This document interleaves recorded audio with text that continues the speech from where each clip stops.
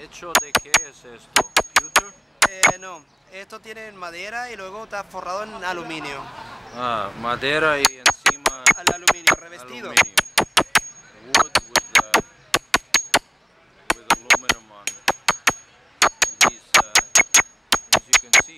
Making something.